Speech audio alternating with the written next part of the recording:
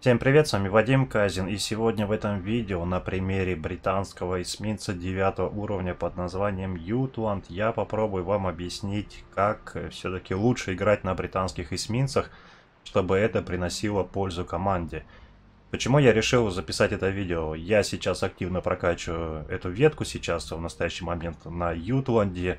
Можно также, кстати, считать, что это будет такой небольшой обзор этого эсминца. Но, в общем, я решил затронуть все равно общую тему британских эсминцев, потому что на примере вот этой вот девятки в нашей игре мы можем ну, уже, скажем так, интерполировать данные на эту девятку, на и десятку, на восьмерку, частично на семерку и практически совсем чуть-чуть достанется шестерке.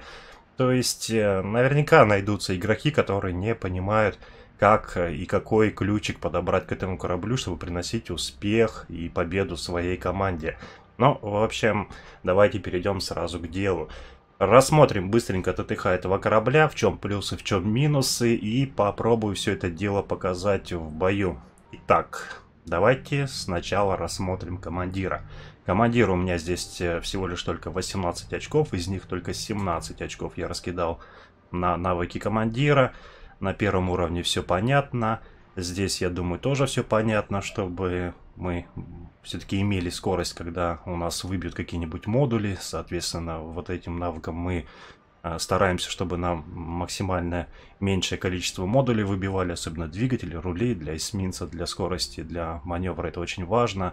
Далее, девятый уровень. Вот таким вот навыком мы увеличиваем количество очков боеспособности. Все-таки иногда мы перестреливаемся артиллерийским огнем, и если у нас хп чуть-чуть побольше, у нас есть небольшое преимущество по сравнению с тем эсминцем, если у него нет вот именно такого навыка у своего командира. Далее, суперинтендант. Почему? Потому что у нас на девятом уровне появляется хилка. Это тоже очень важно для эсминцев, поэтому, чтобы количество хилок было максимальное количество, я все-таки прокачал суперинтендант. Дальше инерционный взрыватель, это я объясню чуть-чуть попозже. Ну и обязательно маскировка для командира.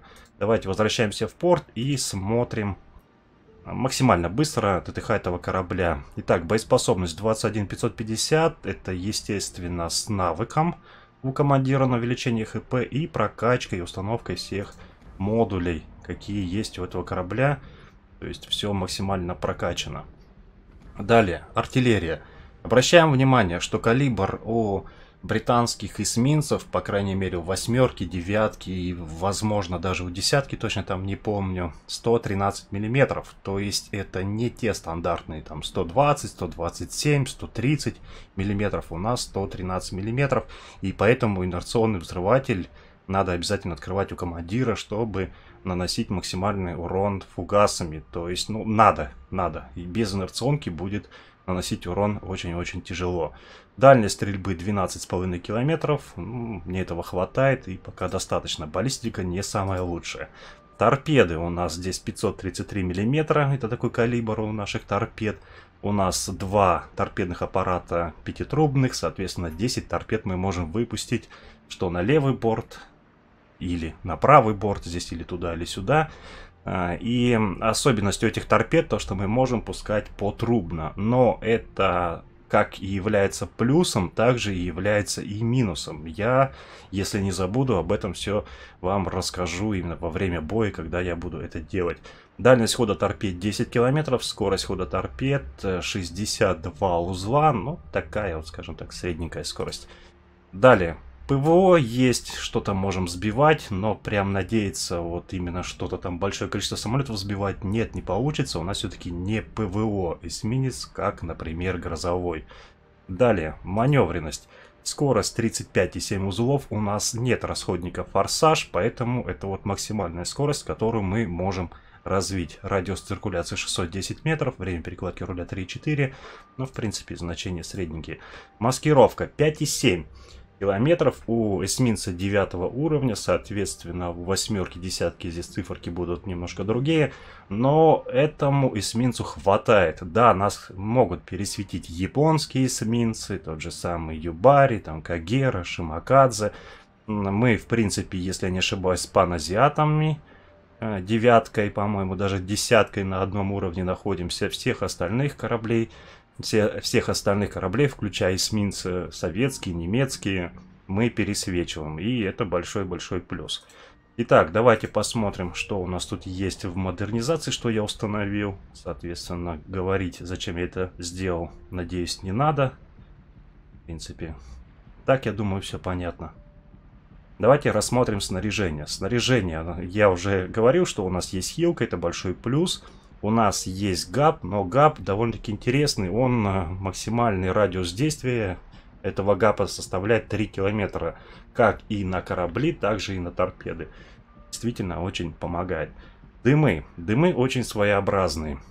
И не все новички могут э, привыкнуть к этим дымам. Дымы очень короткие, они всего лишь держатся 40 секунд. И поверьте вам, если вы привыкли играть на каких-нибудь артиллерийских эсминцах, э, ну, такие вот как американские, вы ставите себе дымы и начинаете там из них стрелять, набивать урон, вызывать пожары, вы довольны, счастливы, то после именно такой вот э, тактики, после игры на американских эсминцах, когда вы сядете на британские эсминцы, вам будет просто некомфортно, потому что вы только дымы поставите, только начнете, начнете стрелять, и внезапно у вас уже дымы тут заканчиваются. То есть 40 секунд действительно очень-очень маловато, но к ним надо привыкнуть.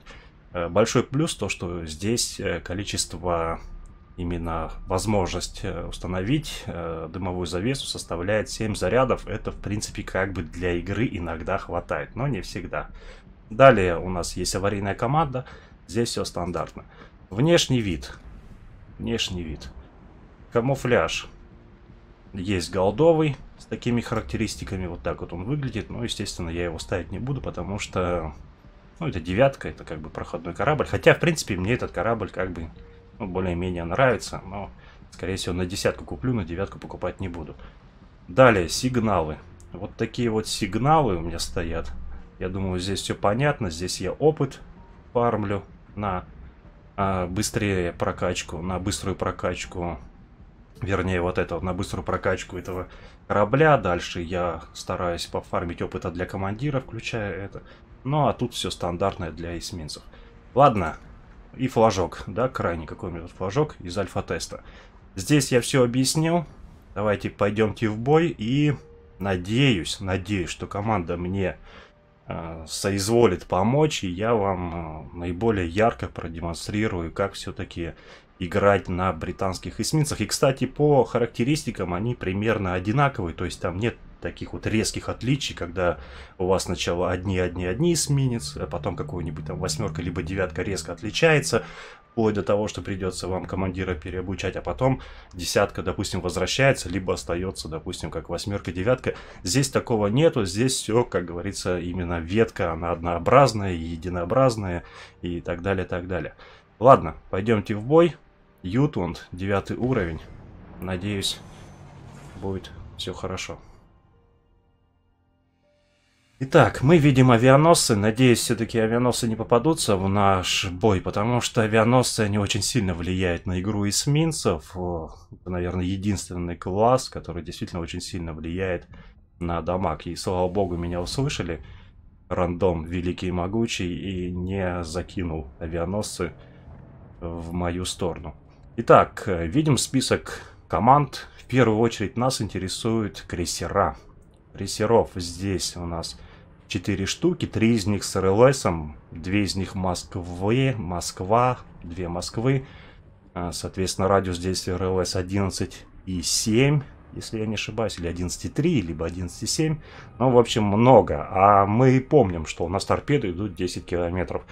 Поэтому, как бы, тут надо с ними быть очень аккуратно. Грозовой. Тоже такой не самый веселый противник для нас, потому что имеет хилку, имеет хорошую баллистику и э, может нас очень прилично так, скажем так, пострелять. Так же, как и Якизуки, который, скажем так, нас тоже может перестрелять. Заметили, что есть Дымонь, у которого есть РЛС и хорошая скорострельность. То есть э, по составу команд уже сразу ясно, что надо играть. И, кстати, еще и Миссури есть у них линкор с РЛСом. Получается, что у них как бы все с РЛСами хорошо. Ну, в общем, надо играть максимально аккуратно, не лоло рашить. Ну, короче, стараться Сыграть очень-очень аккуратно. Ну, попробуем. Четыре эсминца в бою, что там, что здесь. Здесь Миссури, Зал. И вообще нас здесь трое. Здесь надо быть готовым к тому, что придется, скорее всего, уходить с этого фланга. Уходить с этого фланга. Ладно, обещал вам рассказать по поводу пуска торпед. Именно как и вот э, как он по, э, по одной торпеде запуска. Это и плюс, и минус. Дело в том, что вблизи, на некотором расстоянии, да, действительно, это плюс. Э, есть возможность буквально в разные места накидать торпед. Все большое количество на больших расстояниях. Здесь все очень сильно зависит именно от вас, от вашего опыта, да и просто от везения, и как а, именно поведет себя противник, потому что ты думаешь, что вот он идет так, выпускаешь весь, вообще все торпеды в одну, условно говоря, линию, а Линкор чуть-чуть подвернул, либо чуть затормозил, и все торпеды прошли мимо. Поэтому, кстати, видим, что вот Москва идет у нас. Один РЛСник тут есть.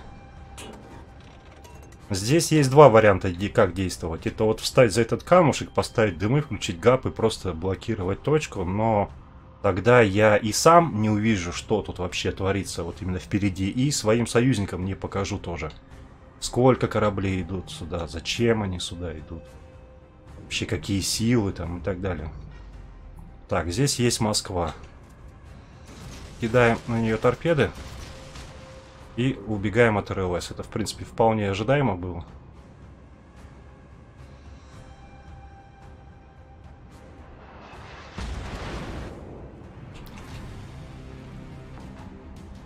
Да, все-таки 11,7.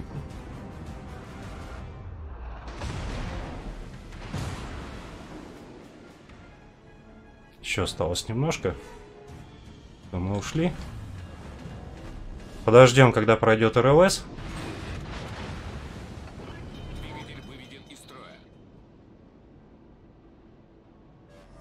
Ну, здесь я, к сожалению, вообще ничего сделать не могу. То есть это Москва.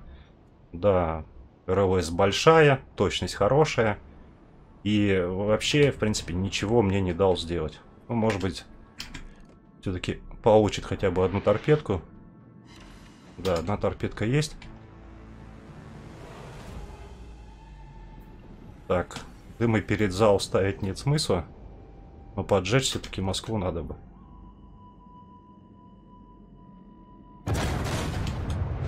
Мы сделаем вот так вот. Теперь поставим дымы. Зал будет подсвечивать Москву. Москва у нас далеко светится. Надеюсь, Москва мне тут не попадет в дымы. А мы попробуем ее поджечь. Конечно, расстояние большое. Но Москва, кстати, и так горит. Спасибо, Зао. Помним, что дымы у нас короткие. И надо из дымов уходить, потому что вот сто процентов сюда идут торпеды. Включаем ГАП. Потому что здесь где-то вражеский все-таки эсминец. Держим Москву. Стараемся в засвете. Видим, что там еще одна Москва идет.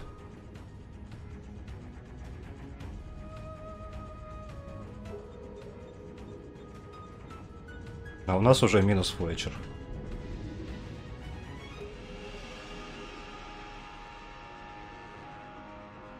Конечно, для кораблей 9-10 уровня не хватает дальности торпед. Ну, вот так вот. Понятное дело, что это балансные правки. У нас уже минус два корабля.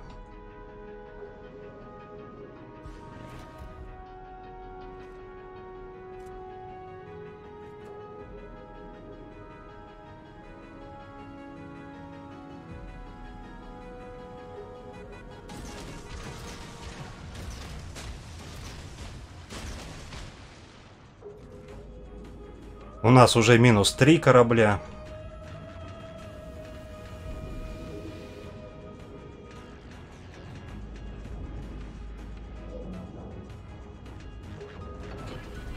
Уже, кстати, конкерора поподжигать.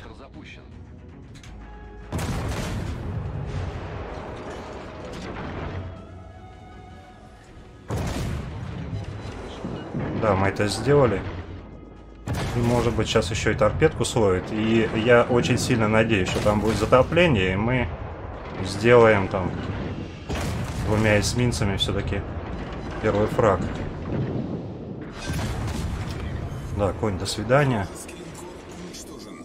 Мусаши и Москва, видим. Блин, не дают нам точку захватить. Такие две Москвы, но мы сейчас попробуем чуть-чуть. Пришлось выйти, что Москва достает РЛСом своим.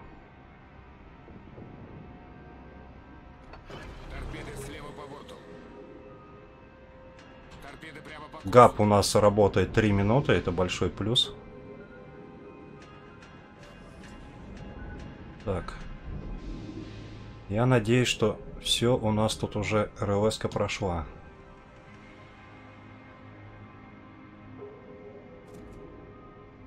Торпеды перезаряжаются чуть больше минуты, вернее, чуть больше полутора минут. 100 с чем-то секунд. Так, Мусаши хочет разогнаться.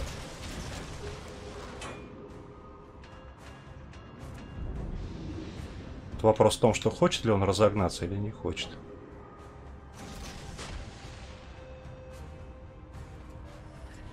Может, конечно, в Москву торпед накидать.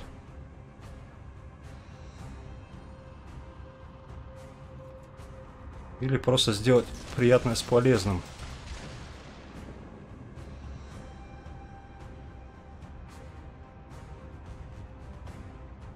Вообще, конечно, лучше уходить с этой стороны. У нас уже минус 4 корабля. Команда не хочет играть.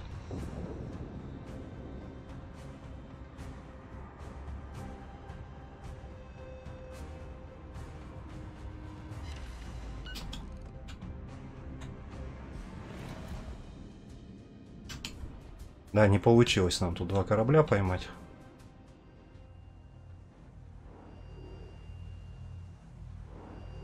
Надо уходить. Две Москвы все-таки.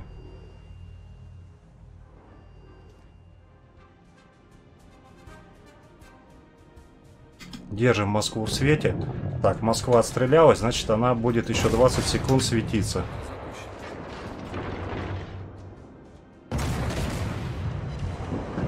Надо ее поджигать. Конечно, крейсера горят всего лишь только 30 секунд, но это тоже дает хоть что-то. Позволяет снять какое-то количество очков боеспособности. Да, есть пожар. Вот, кстати, что делает инерционка. Мы хотя бы можем крейсерам наносить урон.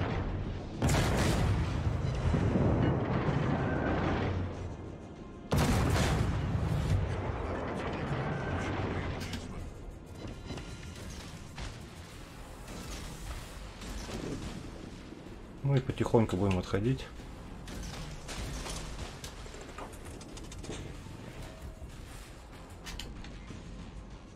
Ну, у нас и так светит, поэтому стреляем.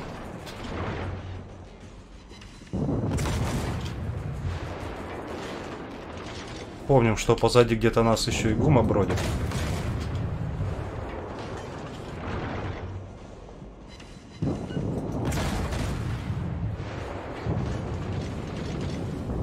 Так, Москва все-таки утопила каким-то образом Шимакадзе и... И да, печаль. Команда противника получила преимущество. Остаемся мы одни на этом фланге. И мне от ЗАО нужна поддержка.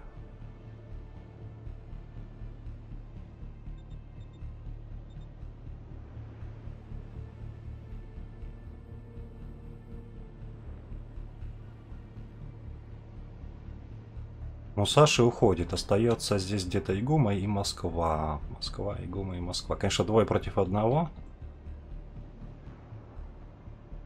Москва ушла.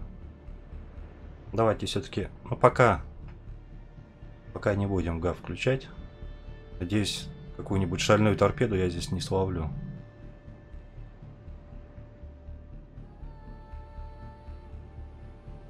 Точка захватывается, есть возможность ее захватить. Это радует.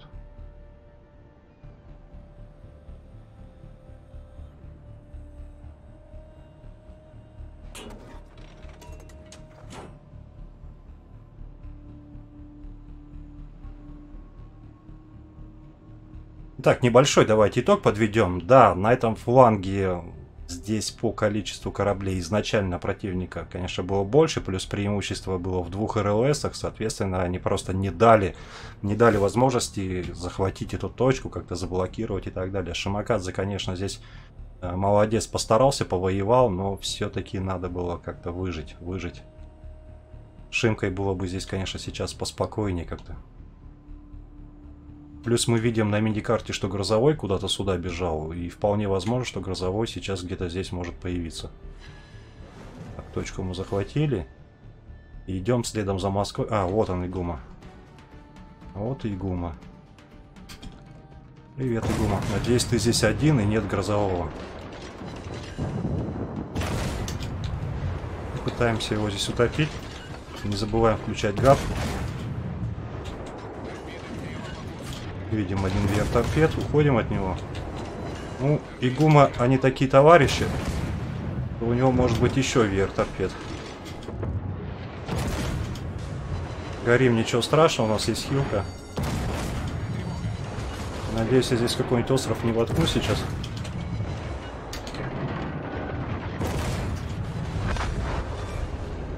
Так, торпед у него нету. Теперь тушимся и включаем хилочку. Так, сделали. Два фрага. Идем дальше. Минус проблема. Ну, опять на том фланге наша команда не хочет вообще никак играть.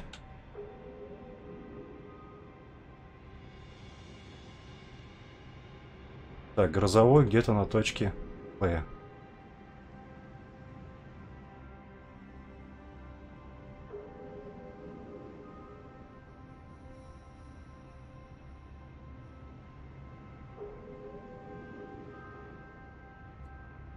Уходят от нас противники. Торпеды не достанут, даже если сейчас кидать в их сторону. Тут и так вот большое расстояние, а тем более пока пойдут торпеды и, и цели еще дальше уйдут. В общем, ни к чему хорошему это все дело не приведет. Единственное, что я могу здесь сделать, это просто заблокировать точку Б, но здесь Москва, здесь грозовой, соответственно, Москва это РЛС дает. Грозовой за счет своей скорострельности и хорошей артиллерии просто меня расстреливает. Я не обратил внимания, сколько у Грозового количество очков боеспособности, но я думаю, там приличное количество. Килка у меня осталась одна единственная последняя, и в принципе, ну, что тут остается? Провести яркую красивую жизнь, поэтому все-таки я хилюсь.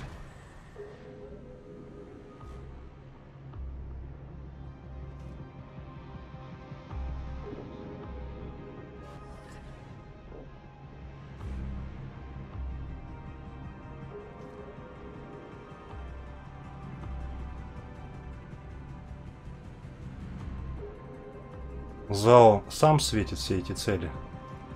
То есть, в принципе, я как бы могу стоять, стоять здесь в дымах. И обидно то, что у меня габ заканчивается.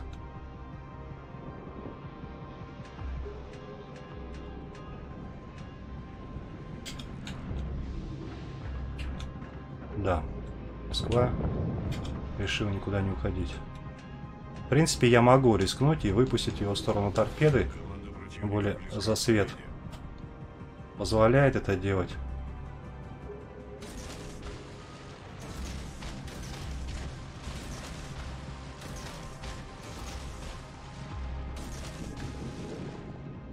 И допустим, если вот так вот Москва успеет еще развернуться.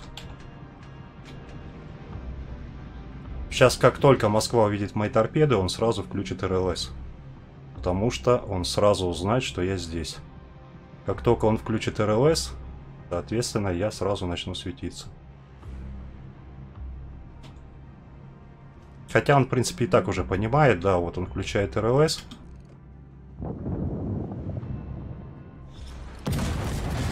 Чтобы сбить захват, потому что захват кто-то берет. А вот и грозовой. А вот грозовой ты мне здесь совсем не нужен. Хотя ты мне и так будешь расстреливать. Так, что тут у нас? Я не могу понять, гав РЛС еще работает или не работает. Ладно, придется все-таки стреляться. Что еще остается? Кого-то я вогнал торпеду одну, скорее всего, в Москву. Ну, в этой дуэли я проиграю. Все-таки очков боеспособности побольше. Единственный шанс, что у меня здесь... О, еще и два пожара.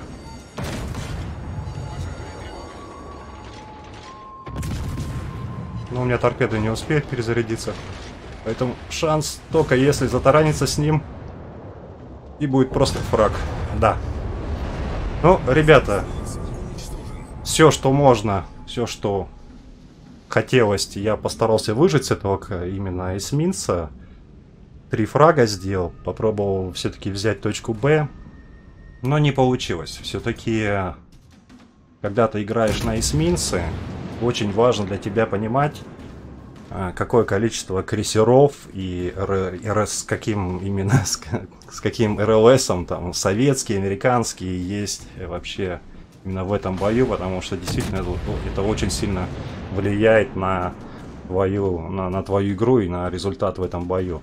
В первую очередь, конечно, очень сильно влияет э, наличие авиации именно как самолетов, которые летают, вот, э, истребителей, там, истри... как они, разведчики, корректировщики и так далее. А также и наличие авианосцев в игре, потому что именно как эсминец реализовать максимальный дамаг, свой урон. Но, к сожалению, это представляет для вас большую такую, знаете, трудность, потому что все летающее э, на, на, на небе, все спокойно очень светит ваши торпед и иногда даже э, спокойно может вас засвечивать, а при желании могут просто висеть над вами, и вы с такими короткими дымами на британских эсминцах вы ну, просто не сможете ничего сделать. И, кстати, захватывать точки на этих эсминцах, вы знаете, есть у некоторых эсминцеводов такая вот не самая лучшая привычка зайти на точку, поставить дымы и стоять в ней, в этих дымах и ждать, когда база захватится. Вот э, в случае с британскими эсминцами у вас это не получится, потому что вы не успеете базу захватить, у вас просто дымы за 40 секунд быстрее рассеются, чем вы сможете захватить базу. Поэтому, ну, как бы, вот так вот.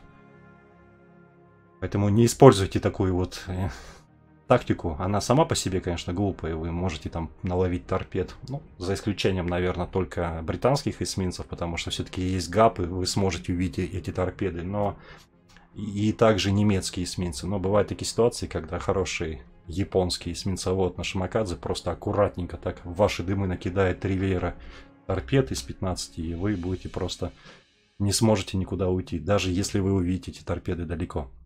Ладно, смотрим результат этого боя. Ну, тут все понятно, это слив, но старался сделать все, что можно. Давайте вернемся в порт и подведем небольшой итог именно не по этому бою, а по этому эсминцу и вообще по британским эсминцам. Конечно, эсминцы, на мой взгляд, получились с одной стороны интересные, они, на них можно играть, они довольно-таки своеобразные, к ним надо подобрать такой своеобразный ключик к игре на этих эсминцах, но здесь э, надо на них играть действительно очень-очень аккуратно, то есть э, здесь вам если в обыкновенной игре на японских эсминцах вам надо всего лишь только знать, какая дальность маскировки и примерно там э, какая дальность РЛС у вражеских кораблей, и вам этого достаточно, ну и дальность хода ваших торпед, и кидайте там по КД свои торпеды, сильно вперед не лезете и радуйтесь результатам, что вот кто-то там нарвался на ваши торпеды, то здесь э, надо прикладывать ну, действительно больше таких вот, скажем так, расчетов для того, чтобы более успешно играть. Поэтому если вы любите играть на эсминцах и называете себя эсминцеводом, если вы опытный эсминцевод, то, а, я думаю, вам и так все ясно и понятно. Если вы эсминцевод-среднячок, ну, наверное, пока для, а, для прохождения британских эсминцев вам еще пока рановато браться. Ну, вы не будете достигать там больших результатов, и приносить большую пользу для своей команды. А если вы, скажем так, начинающий эсминцевод, либо, вот, скажем так, ну, откровенно слабо играете, то э, я вам всячески не рекомендую прокачивать эту ветку. Пускай она будет где-нибудь там чуть-чуть потом, на попозже, когда вы наберетесь опыта и когда э, уже сможете играть на эсминцах других наций более успешно, и более... Ну, вы просто наберетесь опыта, и вам будет тогда просто и спокойно играть на британских эсминцах. Сейчас же для э, прокачки, если там назовем первая, вторая, третья, четвертая ветка, то я, опять же, не рекомендую прокачивать эти вот британские эсминцы и также британские крейсера. Вот качайте британские линкоры. Там все просто. Берете, заряжаете фугасы и погнали. Качайте все в маскировку, в ремонт и кидайте фугасы и радуйтесь. Это для новичка будет само то. Все, я на этом видео буду э, свое заканчивать. Если было интересно вам и чем-то я был вам полезен, поставьте лайк, не стесняйтесь. Если было неинтересно и было что-то там, скажем так, что вам очень сильно не понравилось, можете поставить дизлайк. Если хотите, можете подписаться на канал, также э, на паблик в группе ВК. Э, все. Желаю вам всего самого наилучшего, побольше побед в рандоме, побольше хороших, адекватных союзников, чтобы они вот так вот просто не сливались, пока вы стараетесь что-то сделать на другом фланге. Все, ребята, всего вам хорошего и до скорых встреч. Пока-пока.